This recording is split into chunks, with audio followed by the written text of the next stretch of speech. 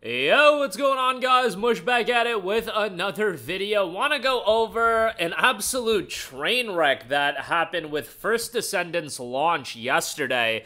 Uh, quite the disaster. I have been playing First Descendant, and I know that there's some mixed reception towards the game. Look, there's a lot of comparisons to Warframe and Destiny. I'm not a big Destiny guy these days, not a big Warframe guys these days. What I will say is I'm playing First Descendant, and I am having a good time with it. And, um, you know, obviously, this game is riddled with microtransactions. I don't know how to enunciate it the correct way to really emphasize the fact that this game is like infe- infested probably isn't the right word like guys a free to play game microtransactions are gonna be a reality of the experience but uh Yo, they finna be making millions off some of these Ultimate Descendants, and I, am gonna be real with you guys. I bet you Nexon has already made a, a killing off the Ultimate Bunny uh, that they're selling. 5,000 credits or whatever it is. Like, and what I don't like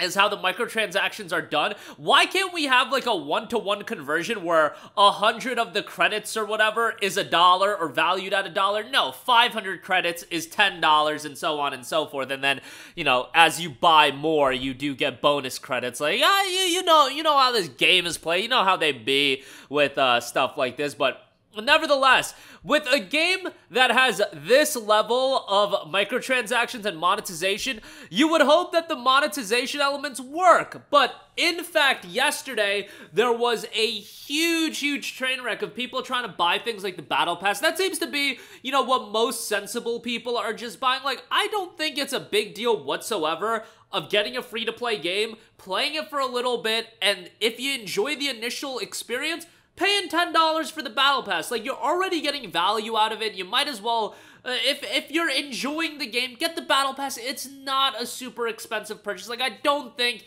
that is the worst idea in the world. And i always usually push back on microtransactions but my perception on microtransactions greatly varies when it comes to a free to play game versus a $70 game like Ubisoft dropping Assassin's Creed and then it being uh, microtransaction infested. Don't get me wrong, First Descendant is microtransaction infested. The level of cosmetic microtransactions and even non-cosmetics is insane. But circling back to the initial point, there was an issue of people buying the premium currency and then not being compensated with the premium currency to buy the battle pass. That is a complete egregious. I cannot quantify how egregious of an issue that is given the level of uh, monetization that this game has. So you're gonna do that level of monetization and you're gonna screw people over, even if it was for a limited time. Even if you got it resolved, that is absolutely ridiculous and I cannot uh, believe that that could happen. However, they did make things right and they put out a post. We sincerely apologize once again for the inconvenience caused by the issues that occurred during the opening day. As a token of our apology, we prepared a compensation. We will continue to strive to provide a more stable service, recipients on how to claim the reward, all descendants who log in until July 7th uh, at midnight will receive the compensation in their mailbox. Mail expiration date compensation mail will expire on 11:59 Pacific time, July 14th. So you'll have a little bit of time uh, to take advantage of that. Please make sure to claim the compensation before the mail expires. You'll get gold gain boost, uh, boost 30%, Kuiper Shard gain boost 30%, Descendant EXP gain boost 30%, Weapon Mastery EXP gain boost 30%, and 2x Matte Red points boost items will uh, be active immediately upon claiming them from the mailbox, so you'll get that. And then they also noted that there's some delay with the Twitch drops. That's not as big of a deal, those are just Twitch drops, but people actually spending money and having things delayed, yeah, that's a problem. The servers initially when the game dropped were actually working pretty fine for me like it was easy to get in game's a complete disaster today as i'm recording this video you cannot get on the game it is legitimately impossible and there are 30,000 people concurrently on the first descendant right now no the game is just straight up down in terms of getting on. Yesterday, there was over 200,000 players. I initially looked at the concurrent player count and I saw that it dropped to 100,000 and I was like, okay, that's a sizable drop, but things like that happen after day one peak. Uh, if the game is going to fall off, that's how it's going to happen. It's going to drop to 100,000. Then I realize, oh, this drop off is because the servers are a train wreck right now and you can't get on the game as of recording this video. The fact that it's dropped to 30,000, again, that's a huge issue and it really does halt any momentum. And I don't know the, the staying power that the first Descendant is going to have.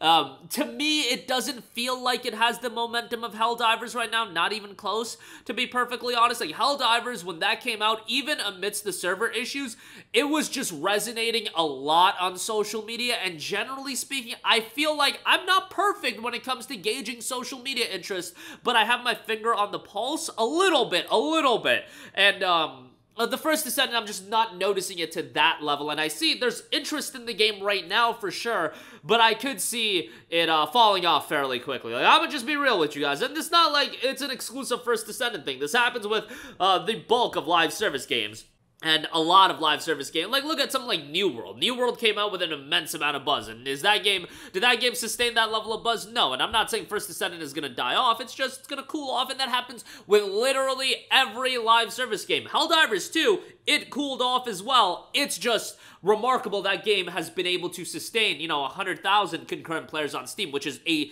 incredible feat. Look at Palworld. It's not a live service game, but that game peaked at over 2 million. It's down to like 30k now, 20k, but it's going to get an update or got an update recently, and obviously interest will resurge up and down for a live, uh, an early access game like that, excuse me. And same thing with the live service game. It's just Helldivers uh, 2 was able to sustain 25 to 30% of its peak. That's an incredible feat. First Descendant, let's see if it can sustain 25 to 30% of its peak, um, and I don't know if that's going to be the case. Right now, it's below that, but that's because the servers are disastrous, so uh, that's not really fair to gauge it right now. And again, we'll get a real understanding probably a month or two, and really the, into the midst of Season 1, I think we'll get a real idea into where this game is going to settle at, but the four-month trajectory and the four-month uh, mark tells you a lot more than the initial peak. Right now, it's just a train wreck because the servers are down and it's down to 30,000 players, and I would imagine a large portion of those players are literally in the connecting to server page. I think most people just tapped out and decided to get off for the moment being. And uh, I have not seen any statements on their social media, but hopefully they uh, provide an update for that here shortly. But that is going to do it for me. Thankfully, the disaster situation with the compensation has been remedied because that's just an absolute uh, absolute, uh, that that's disastrous for a game that's uh, monetized to this extent, you can't have stuff like that happen. That's just ridiculous. And as far as servers being down, uh, yeah, that is going on as well. And hopefully the servers will be resolved here shortly. And, um, you know, right now it's at 33,000 players on Steam. I think that's more of an indictment on the servers being down across the board for everyone. And hopefully that'll be resolved here shortly. But that is going to do it for me, you guys. Again, uh, thankfully the monetization issues of people buying uh, stuff and not getting uh, compensated with their premium currency. That seemingly has been resolved. They're gonna give you some bonuses for, um, you know, for that little mishap yesterday. So that's good. And uh, yeah, servers are a complete train wreck right now. So hopefully that'll be resolved here shortly as well. That's gonna do it for me. Let me know all of your thoughts in the comments section down below. As always, guys, thanks for watching, and I will catch you guys in the next one. Peace out. Hey, what's going on guys? Mush here again. Hope you enjoyed the video. As you guys might know, YouTube's notification system is sometimes a little bit wonky, even if you're subscribed to the channel. Maybe you're not abundantly aware that I uploaded a video to remedy that situation. Make sure you hit the bell notification button. This way, whenever I upload a new video, and I try to upload as consistently as possible, you will be notified directly of the upload, and you can watch it as soon as it goes live. I would really appreciate if you guys hit that button so you can stay up to date with all the content I'm posting. But as always, guys, thanks for watching, and I'll catch you guys in the next one. Peace out.